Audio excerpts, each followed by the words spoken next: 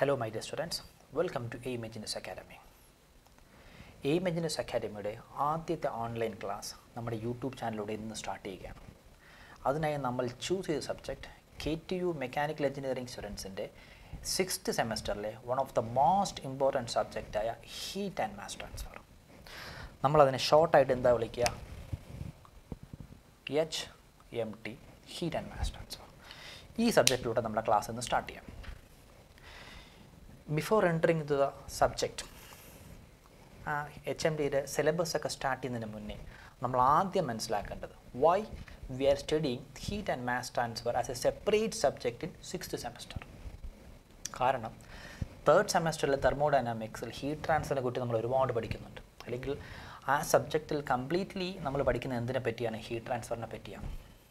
പിന്നെ എന്തിന് നമ്മൾ എച്ച് എം ടി എന്ന സെപ്പറേറ്റ് സബ്ജക്റ്റ് പഠിക്കുന്നു?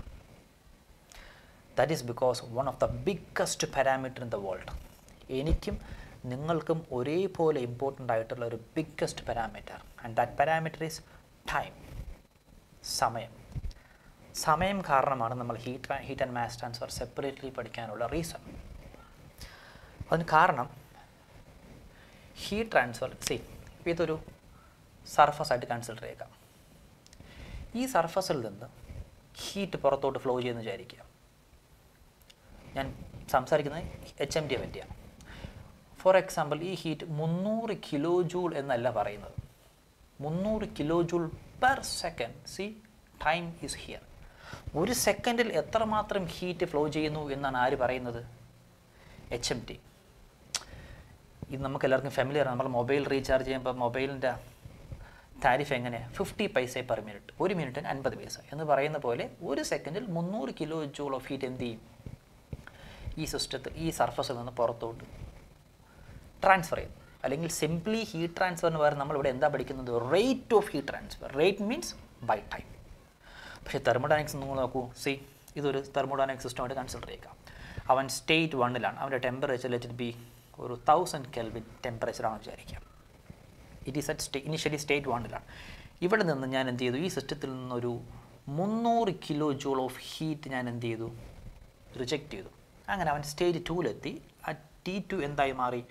Let it be three hundred kelvin see state വണ്ണിൽ നിന്ന് സ്റ്റേറ്റ് ടൂവിലെത്തി ഒരു സ്ഥലത്തും നമ്മൾ ടൈമിനെ പറ്റി പറയുന്നേ ഇല്ല. ഇൻ തെർമോഡൈനാമിക്സ് നമുക്ക് പ്രാക്ടിക്കലി നമുക്ക് എന്താ അറിയേണ്ടത്? പ്രാക്ടിക്കൽ സിറ്റുവേഷൻ നമുക്ക് അറിയേണ്ട കാര്യം എത്ര സമയം കൊണ്ട് ഈ ടെമ്പറേച്ചർ ആയിരം കെൽവിൽ നിന്ന് മുന്നൂറ് കെൽവിലെത്തി ആ സമയമാണ് നമുക്ക് ഇമ്പോർട്ടന്റ് ആ സമയത്തെപ്പറ്റി ആര് പറയുന്നേ ഇല്ല? തെർമോഡൈനാമിക്സ് സംസാരിക്കുന്നേ ഇല്ല. This is the biggest disadvantages of thermodynamics. Okay so ഇത് ഇതുകൊണ്ടാണ് നമ്മൾ എന്ത് ചെയ്യുന്നത്? തെർമോഡൈനാമിക്സ് എന്ന സെപ്പറേറ്റ് സബ്ജക്റ്റ് പഠിക്കാനുള്ള റീസൺ ഓക്കെ ഇനി ഈ റീസൺ പറയുന്നപ്പോൾ ഞാനൊരു പ്രാക്ടിക്കൽ എക്സാമ്പിളൂടെ പറയാം. ഈ ടൈമിന് ഇത്രയും ഇമ്പോർട്ടൻസ് കൊടുക്കാനുള്ള കാരണം എന്താണെന്നൂടെ പറയാം. നമുക്ക് എല്ലാവർക്കും അറിയാം കമ്പ്യൂട്ടേഴ്സ് ടു ടൈപ്സ് ആണ്. ഒന്ന് ഡെസ്ക്ടോപ്പ് കമ്പ്യൂട്ടേഴ്സ് ലാപ്ടോപ്പ് കമ്പ്യൂട്ടേഴ്സ് ഡെസ്ക്ടോപ്പിൽ എന്തൊക്കെ നമ്മളെ മോണിറ്റർ ഉണ്ട് C P U U P S അങ്ങനെ? ബിഗ് കമ്പ്യൂട്ടർ ലാപ്ടോപ്പ് കമ്പ്യൂട്ടേഴ്സിൽ അറിയാലോ വളരെ കോമ്പാക്റ്റ് ആണ് കുഞ്ഞു കമ്പ്യൂട്ടേഴ്സാണ് നമ്മളെല്ലാവരും ലാപ്ടോപ്പ് കമ്പ്യൂട്ടർ ലാപ്ടോപ്പ് യൂസ് ചെയ്യുമ്പോൾ എന്താ പറ്റുക? ഹ്യൂജ് എമൗണ്ട് ഓഫ് ഹീറ്റ് എന്ത് ചെയ്യും? ഈ സിസ്റ്റത്തിൽ നിന്ന് പുറത്തോട്ട് റിജക്റ്റ് ചെയ്യും ലിബറേറ്റ് ചെയ്യും. നമുക്ക് നമുക്ക് നന്നായി ഇത് എന്ത് ചെയ്യാൻ പറ്റും? ഫീൽ ചെയ്യാൻ പറ്റും. അതേസമയം ഡെസ്ക്ടോപ്പ് വർക്ക് ചെയ്യുമ്പോൾ അങ്ങനെയല്ല. ഹീറ്റ് ഫീ ഹീറ്റ് നമ്മൾ ആ ഡെസ്ക്ടോപ്പ് ഒരുപാട് അങ്ങ് എന്ത് ചെയ്യത്തില്ല ചൂടാവത്തില്ല. ഇല്ലേ? ഇതുകൊണ്ട് തന്നെ ഈ ഒരൊറ്റ കാരണം കൊണ്ട് തന്നെ ഡെസ്ക്ടോപ്പിന്റെ ലൈഫ് നിങ്ങൾ നോക്കൂ. എല്ലാവരുടെ വീട്ടിലും ഡെസ്ക്ടോപ്പ് പർച്ചേസ് ചെയ്തിട്ട് മിനിമം പത്ത് മാക്സിമം പത്ത് മുതൽ പതിനഞ്ച് വരെ ആ ഡെസ്ക്ടോപ്പ് റൺ ചെയ്യും. പക്ഷേ ലാപ്ടോപ്പിന്റെ ലൈഫോ ത്രീ ടു ഫോർ മൂന്ന് വർഷം കഴിയുമ്പോൾ തന്നെ അതിനകത്തുള്ള ഐ സി വെച്ച് ഇപ്പോൾ എന്തെങ്കിലും ഒരെണ്ണം എന്തായി പോകും? Complaint this is because of the biggest parameter time അതെങ്ങനെയാണ് നമുക്ക് ചെക്ക് ചെയ്യാം? അതിന്. സി ലാപ്ടോപ്പ് നമ്മൾ യൂസ് ചെയ്യുന്നത് ഞാൻ പറഞ്ഞു. ലാപ്ടോപ്പ് യൂസ് ചെയ്യുമ്പോൾ huge amount of heat energy എന്ത് ചെയ്യും? ലിബറേറ്റ് ചെയ്യും. ലിബറേറ്റ് ചെയ്യുന്ന ലാപ്ടോപ്പ് എന്ത് ചെയ്യും? ലാപ്ടോപ്പിനകത്തുള്ള സിസ്റ്റം ലാപ്ടോപ്പ് വർക്ക് ചെയ്യുമ്പോൾ ഇത്രയും ഹീറ്റ് ജനറേറ്റ് ചെയ്യുന്ന കാരണം ലാപ്ടോപ്പിനകത്തുള്ള ഇന്റേർണൽ കമ്പോണൻസിന്റെ ടെമ്പറേച്ചർ എന്ത് ചെയ്യും? ഇൻക്രീസ് ചെയ്യും. കാരണം ഹീറ്റ് അതിനകത്ത് സ്റ്റോർ ചെയ്യുകയാണ് ഹീറ്റ് റിജക്റ്റ് ചെയ്യുമ്പോൾ എന്ത് പറ്റി? മുഴുവൻ ഹീറ്റും റിജക്റ്റ് ചെയ്യാൻ പറ്റില്ലെന്ന് വിചാരിക്കുക. ലാപ്ടോപ്പ് വർക്ക് ചെയ്യുമ്പോൾ ജനറേറ്റ് ചെയ്യുന്ന മുഴുവൻ ഹീറ്റും റിജക്റ്റ് ചെയ്യാൻ പറ്റിയില്ലെന്ന് വിചാരിക്കുക. അതിനകത്ത് എന്ത് ചെയ്യുകയാണ്? സ്റ്റോർ ചെയ്യുകയാണ്. സ്റ്റോർ ചെയ്തപ്പോൾ ഇന്റേർണൽ കമ്പോണൻസിന്റെ ഈ ഐ സിയുടെ ചിപ്പിന്റെ ടെമ്പറേച്ചർ കൂടിക്കാം നമുക്കറിയാം ഒരു സിസ്റ്റത്തിനും ഇൻഫനൈറ്റ് ടെമ്പറേച്ചർ വിത്ത്സ്റ്റാൻഡ് ചെയ്യാൻ പറ്റില്ല ഈ ഐ സിക്കും ചിപ്പിനും ഒരു പെർട്ടിക്കുലർ ടെമ്പറേച്ചർ വരെ വിത്ത്സ്റ്റാൻഡ് ചെയ്യാൻ പറ്റും. അതിന് മുകളിൽ പോയി ഐ സി ചിപ്പ് എന്തായി പോവും? അടിച്ചു. ലാപ്ടോപ്പ് എന്തായി പോവും? കംപ്ലൈന്റ് ആയി പോവും. അപ്പം നമ്മുടെ കുറച്ച് സമയമേ ഉള്ളൂ. Remember the time the factor time അതായത് ഈ ടെമ്പറേച്ചർ കൂടി കൂടി കൂടി അവന്റെ ഈ ചിപ്പിന് വിത്ത്സ്റ്റാൻഡ് ചെയ്യാൻ പറ്റുന്ന മാക്സിമം ടെമ്പറേച്ചർ ഉണ്ടല്ലോ. അത്രയും ടെമ്പറേച്ചർ കൂടുന്ന സമയത്തിനുള്ളിൽ നമ്മൾ എന്ത് ചെയ്യണം? ആ ഹീറ്റിനെ അബ്സോർബ് ചെയ്ത് അല്ലെങ്കിൽ പുറത്തോട്ട് റിജക്റ്റ് ചെയ്ത് വിടുന്ന പറ്റും അതിനാണ് നമ്മൾ എന്ത് ചെയ്യാനകത്തുള്ള ഫാനും കൂളിംഗ് ഡിവൈസസ് ഒക്കെ എന്തിൽ യൂസ് ചെയ്യുന്നത്? ലാപ്ടോപ്പിൽ യൂസ് ചെയ്യുന്നത്. മനസ്സിലായോ? അപ്പോൾ ഒരു പെർട്ടിക്കുലർ സമയത്തിനുള്ളിൽ ആ ഹീറ്റിനെ പുറത്ത് കളഞ്ഞില്ല എങ്കിൽ എന്ത് പറ്റും? സിസ്റ്റത്തിന്റെ അകത്തുള്ള ഐ സിയുടെ ചിപ്പിന് ടെമ്പറേച്ചർ കൂടുന്നു ലാപ്ടോപ്പ് എന്തായിപ്പോൾ കംപ്ലൈന്റ് ആയിപ്പോൾ ഇപ്പം നിങ്ങൾക്ക് മനസ്സിലായി കാണുമല്ലോ ഹീറ്റ് ആൻഡ് മാസ് ട്രാൻസ്ഫറിൽ സമയത്തിന് ഇമ്പോർട്ടന്റ് ഇതുപോലുള്ള വാട്ട് ചിപ്പോ ഐ സി ഈ ഹീറ്റ് ട്രാൻസ്ഫർ എക്യുപ്മെന്റ്സും ഡിവൈസസും ഡിസൈൻ ചെയ്യാനാണ് നമ്മൾ എന്ത് പഠിക്കുന്നത്? ഹീറ്റ് ആൻഡ് മാസ് ട്രാൻസ്ഫർ എന്ന സബ്ജക്റ്റിൽ പഠിക്കുന്നത്. ഇനി ഈ ഹീറ്റ് ആൻഡ് മാസ് ട്രാൻസ്ഫറിൽ നാല് ആക്റ്റീവ് ടോപ്പിക്സുകളുണ്ട് first one is conduction second one is convection third one is radiation and the, finally the fourth one is mass transfer ഇതിലെ മെജോറിറ്റി നയന്റി പെർസെന്റേജും ആര് തന്നെയാണ്? പ്യുവർലി ഹീറ്റ് ട്രാൻസ്ഫറാണ് ആദ്യം പറഞ്ഞ മൂന്ന് ടോപ്പിക് ഹീറ്റ് ട്രാൻസ്ഫറാണ് ഇനി നിങ്ങൾ നമുക്കിതിനകത്തുള്ള ഓരോരോ ടേംസ് അതായത് initially first module second module third എല്ലാം പ്യുവർലി ഹീറ്റ് ട്രാൻസ്ഫറാണ് സോ നമുക്ക് ജസ്റ്റ് എന്തൊരു ഇൻട്രൊഡക്ഷൻ ചെയ്യാം. ഡീറ്റെയിൽ ആയിട്ട് നമുക്ക് അടുത്ത ക്ലാസ്സുകളിലേക്ക് ഓരോരോ ടോപ്പിക് ടോപ്പിക്സ് ഡീറ്റെയിൽ ആയിട്ട് പഠിക്കാം. അതിന് നമ്മൾ ആദ്യം നമുക്ക് എന്ത് പഠിക്കാം? കണ്ടക്ഷൻ ഹീറ്റ് ട്രാൻസ്ഫർ എന്താണെന്ന് മനസ്സിലാക്കാം. ഈ conduction heat transfer inter molecular phenomena അല്ലെങ്കിൽ ഫ്ലോ ഫ്രീ ഇലക്ട്രോൺസ് ഒക്കെ പറഞ്ഞ് നമ്മൾ ഒരുപാട് കൺഫ്യൂസ്ഡ് ആയി പോകാതിരിക്കാൻ ഞാനൊരു സിമ്പിൾ എക്സാമ്പിളിലൂടെ സ്റ്റാർട്ട് ചെയ്യാം.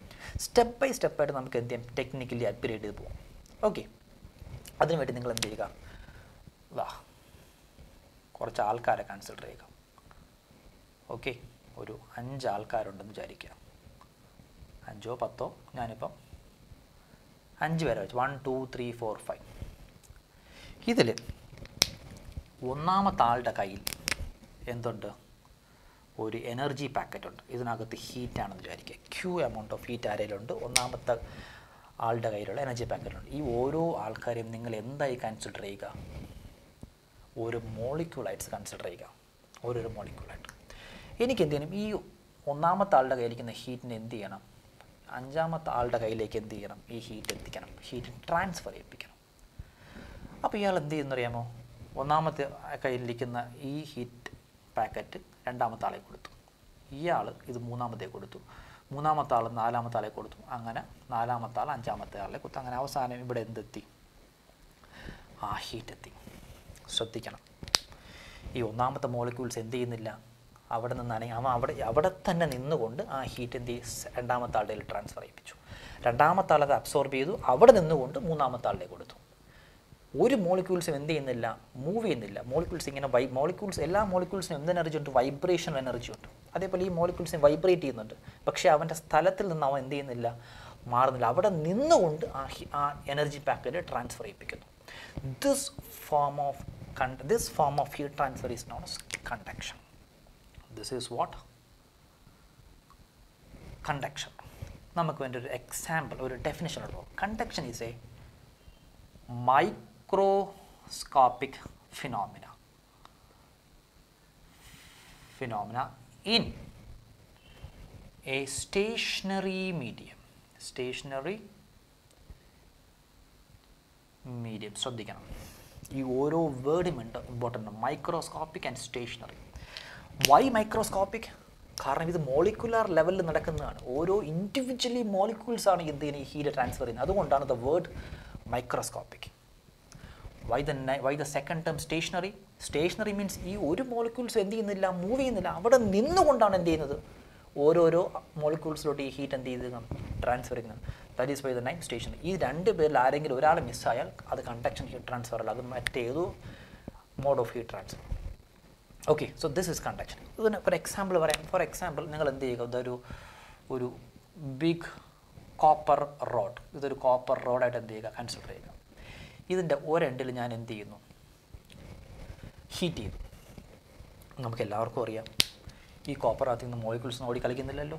കാരണം സോളിഡ്സ് അല്ലെങ്കിൽ സോളിഡ്സ് ക്ലോസ്ലി പാക്ഡ് ആണ്. മോളിക്യൂൾസിന് അവിടെ ഇരുന്നുകൊണ്ട് ഇങ്ങനെ വൈബ്രേറ്റ് ചെയ്യാൻ പറ്റത്തുള്ളൂ. അപ്പോൾ ഈ ഹീറ്റ് എന്ത് ചെയ്യുന്നു? ഈ ലെഫ്റ്റ് സൈഡ് ലെഫ്റ്റ് മോ സർഫസിലേക്ക് നിൽക്കുന്ന മോളിക്യൂൾസിന് ഹീറ്റ് കിട്ടും. ഹീറ്റ് കിട്ടുമ്പോൾ എന്ത് പറ്റും? അവൻ എനർജി സ്റ്റോർ ചെയ്യുക എനർജി സ്റ്റോർ ചെയ്യുമ്പോൾ അവൻ വൈബ്രേഷൻ എനർജി കൂട്ടും. വൈബ്രേഷൻ എനർജി കൂട്ടുമ്പോൾ തൊട്ടടുത്ത മോളിക്യൂൾസിന് ആ വൈബ്രേഷൻ കിട്ടും. അങ്ങനെ അവൻ അബ്സോർബ് ചെയ്യും. അവന്റെ വൈബ്രേഷൻ കൂട്ടും. അവൻ തൊട്ടടുത്ത മോളിക്യൂൾസിലും അങ്ങനെ ആ വൈബ്രേഷൻ എനർജി അവിടെ നിന്നുകൊണ്ട് തന്നെ ട്രാൻസ്ഫർ ചെയ്ത് ട്രാൻസ്ഫർ ട്രാൻസ്ഫർ കുറച്ച് സമയം നമ്മൾ ഇവിടെ ഇവിടെ ടച്ച് ചെയ്തെന്ന് പറ്റും?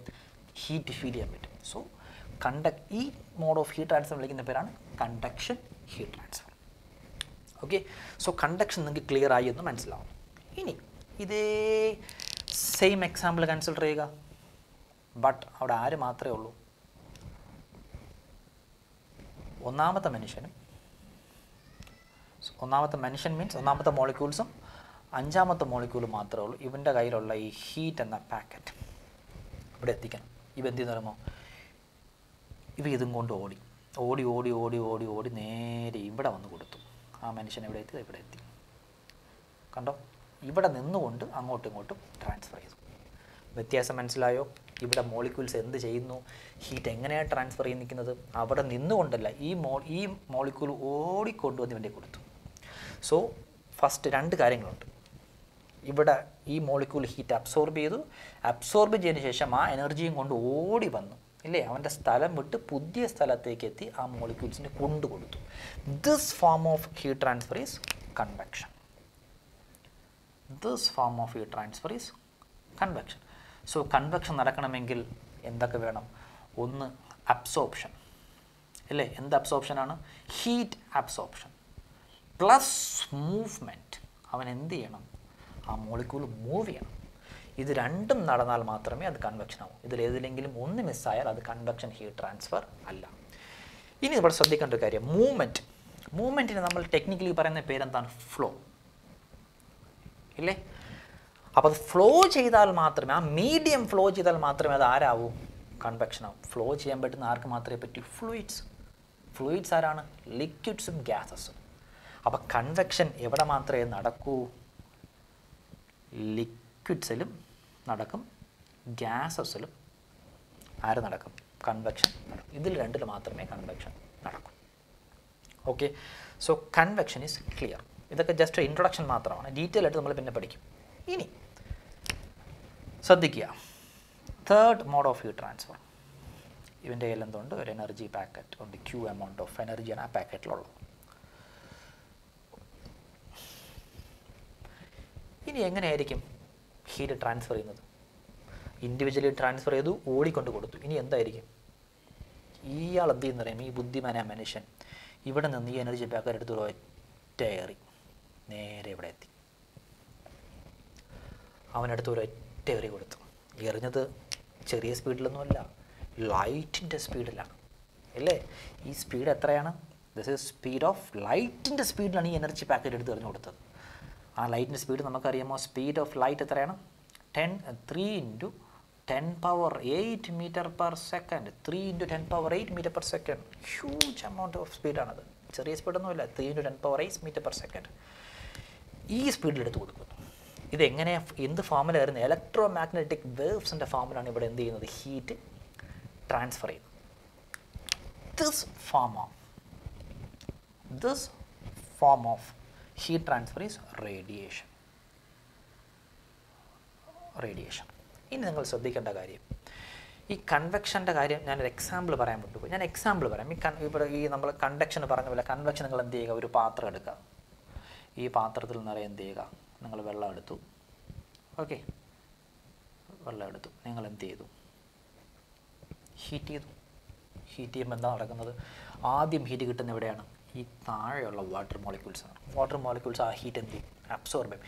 ഹീറ്റ് അബ്സോർബ് ചെയ്താൽ വാട്ടർ മോളിക്യൂൾസിന്റെ ടെമ്പറേച്ചർ കൂടുന്നു ഡെൻസിറ്റി കുറയുന്നു. അപ്പോൾ ഇവിടെ കിടക്കുന്ന ഈ വാട്ടർ മോളിക്യൂൾസ് എന്താ? ഇങ്ങനെ പൊങ്ങി മോളി വരും. കണ്ടോ? ഹീറ്റ് അബ്സോർപ്ഷൻ പ്ലസ് ഫ്ലോ രണ്ടും നടന്നില്ലേ? അബ്സോർപ്ഷൻ പ്ലസ് ഫ്ലോ അതാണ് കൺവെക്ഷൻ റേഡിയേഷൻ നമ്മൾ ആരും കൂടുതലൊന്നും ആലോചിക്കാൻ പോകണ്ട. Example sun heat transfer from the sun കാരണം ഇവിടെ കൊണ്ട് ഇതിന്റെ ഇടയിൽ ആരുമില്ല. എനർജി പാക്കറ്റ് എടുത്ത് എറിഞ്ഞു കൊടുത്തു. അപ്പോൾ വാക്വത്തിലൂടെയാണ് ആര് വന്നിരിക്കുന്നത് വിചാരിക്കുക? അസ്യൂമിങ് ഇവർക്കിടയിൽ വാക്വം ആണെന്ന് വിചാരിക്കുക. സോ വാക്വത്തിലൂടെയാണ് ആര് വന്നിരിക്കുന്ന ഹീറ്റ് സോ ഒരു മീഡിയവും വേണ്ട. ആർക്ക്? റേഡിയേഷന് ഹീറ്റ് ട്രാൻസ്ഫർ ചെയ്യാൻ മീഡിയം വേണ്ട ഫോർ എക്സാമ്പിൾസ് സൺ ഫ്രം വാക്വത്തിലൂടെയാണ് നമ്മൾ എർത്തിലേക്ക് എന്തെത്തുന്നത്? റേഡിയേഷൻ ഹീറ്റ് ട്രാൻസ്ഫർ എത്തുന്നത്. ഇനി നിങ്ങൾ മനസ്സിലാക്കേണ്ടത് ഈ കണ്ടക്ട് ഇനി ഒരു ഒരു എല്ലാ കുട്ടികളും പഠിക്കുന്നതും പഠിപ്പിക്കുന്നതും ചിലപ്പോൾ ഇങ്ങനെ ആയിരിക്കും കണ്ടക്ഷൻ എന്ന് കേൾക്കുമ്പോൾ എല്ലാവരും ഞാനിവിടെ എക്സാമ്പിൾ പറഞ്ഞ ആരാണ്? ഒരു സോളിഡ് റോഡാണ് എല്ലാവരും വിചാരിച്ചിരുന്നത് കണ്ടക്ഷൻ സോളിഡ്സിൽ മാത്രം എന്നാണ് പഠിക്കുന്നത്. That is absolutely wrong conduction എവിടെയൊക്കെ നടക്കാം? ഈ കണ്ടക്ഷന് സോളിഡ്സിൽ നടക്കാം. ലിക്വിഡ്സിൽ നടക്കാം ഗ്യാസസിൽ നടക്കാം. That is very very important ഈ മൂന്ന് സ്റ്റേറ്റിലും എന്ത് ഫോം ഓഫ് എനർജി നടക്കാം കണ്ടക്ഷൻ നടക്കാം റേഡിയേഷൻ ഒരു സിസ്റ്റത്തിന് ടെമ്പറേച്ചർ ഉണ്ടോ? അതാരുമായിക്കോട്ടെ അവൻ റേഡിയേഷൻ എമിറ്റ് ചെയ്തിരിക്കും. ഒരു സിസ്റ്റത്തിന് ടെമ്പറേച്ചർ ഉണ്ടോ? അവൻ റേഡിയേഷൻ എമിറ്റ് ചെയ്ത്. അത് ആരുമായി? ഗ്യാസോ ലിക്വിഡോ ഈ ലോകത്തുള്ള എന്ത് സാധനമാണ്? ടെമ്പറേച്ചർ ഉണ്ടോ? അവൻ എമിറ്റ് ചെയ്യും. ടെമ്പറേച്ചർ മീൻസ് എന്താണ്? സീറോ ഡിഗ്രി സെൽഷ്യസ് ആയ ടെമ്പറേച്ചർ ഇല്ലെന്ന് നിങ്ങൾ വിചാരിക്കും സീറോ ഡിഗ്രി സെൽഷ്യസ് മീൻസ് എത്രയാണ്? ടു സെവന്റി ത്രീ കെൽവിനാണ് ഹാ സീറോ കെൽവിൻ ആണെങ്കിൽ അവൻ എന്ത് ചെയ്യത്തില്ല? പിന്നെ റേഡിയേഷൻ അവൻ എമിറ്റ് ചെയ്യത്തില്ല. സീറോ കെൽവിൻ ഇന്നേ വരെ ലോകത്ത് ഒരു ഒബ്ജക്റ്റിനും സീറോ കെൽവിൻ ടെമ്പറേച്ചർ അറ്റൈച്ച് ചെയ്യാൻ പറ്റിയിട്ടില്ല. അതായത് ഇന്ന് ലോകത്തുള്ള എല്ലാ മെറ്റീരിയൽസും എന്ത് ചെയ്യും? റേഡിയേഷൻ എമിറ്റ് ചെയ്തിരിക്കും. ഓക്കെ ഇത് മൂന്നുമാണ് നമ്മുടെ ഇൻട്രൊഡക്ഷൻ അടുത്ത ക്ലാസ് മുതൽ ഓരോരോ കണ്ടക്ഷൻ ഓരോരോ മോഡ്സ് ഓഫ് ഹീറ്റ് ട്രാൻസ്ഫർ എടുത്ത് നമ്മൾ ഡീറ്റെയിൽ ആയിട്ട് നമ്മൾ അനലൈസ് കാരണം ഈ ഓരോ മോഡ്സ് ഓഫ് ഹീറ്റ് ട്രാൻസ്ഫറും ഗവേൺ ചെയ്യാൻ ഇൻഡിവിജ്വൽ ലോസ് ഉണ്ട്. ഫോർ എക്സാമ്പിൾ കണ്ടക്ഷൻ എന്തുണ്ട്? Fourier law of heat conduction ഉണ്ട്. Convection Newton's law of cooling ഉണ്ട്.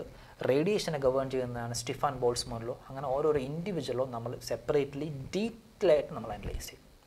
സോ നിങ്ങൾക്ക് വേണ്ട എല്ലാ കാര്യങ്ങളും എച്ച് എം ഡിയുമായി റിലേറ്റ് ചെയ്ത എല്ലാ കാര്യങ്ങളും നമ്മൾ ഇവിടെ പഠിപ്പിക്കും. ഓക്കെ ഇനി ഇതൊരു യൂട്യൂബ് ചാനലാണെന്ന് നിങ്ങൾക്കറിയാം. എന്റെ ഈ ക്ലാസ് നിങ്ങൾ ഇഷ്ടപ്പെടുകയാണെങ്കിൽ ലൈക്ക് ചെയ്യുക സബ്സ്ക്രൈബ് ചെയ്യുക നിങ്ങളെപ്പോലെ ആവശ്യമുള്ള മറ്റുള്ളവരിലേക്ക് ഈ ക്ലാസ് നിങ്ങൾ ഷെയർ ചെയ്യുക. Okay thank